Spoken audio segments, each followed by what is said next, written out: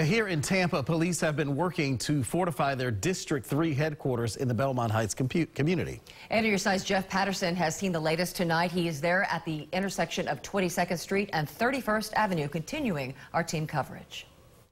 This is 22nd Street and 31st Avenue in Belmont Heights, and behind me over here is the District 3 substation of the Tampa Police. You can see a human wall of Tampa police officers over there who are trying to protect their property.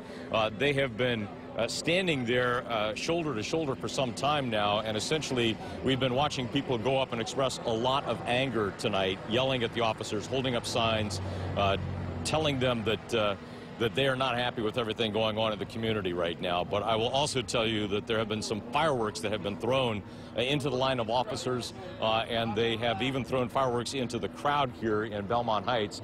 Earlier tonight, we were in Ybor City where some of the business owners there, the Columbia restaurant and others, were starting to board up their businesses to protect them, of course, because, of course, they saw what had happened uh, last night with businesses being looted and burned in the university community area. They didn't want that to happen in Ybor City, but when we were in Ybor, it was all quiet. They had the Tampa police had shut off a lot of the streets and the bridges going into downtown and into Ybor City, so it was all quiet there. But when we came over here to District 3, a bit of a different situation. There have been people out in Belmont Heights tonight who are not paying attention to the curfew. They're basically just kind of walking around and looking for themselves to see what has happened. So tonight, Tampa police officers have been standing there uh, enduring fireworks being thrown at them. But so far, we haven't seen uh, anything else other than that. We have not seen businesses burned tonight. We have not seen businesses looted tonight, and we're thankful for that. So reporting live in Belmont Heights, Jeff Patterson, 8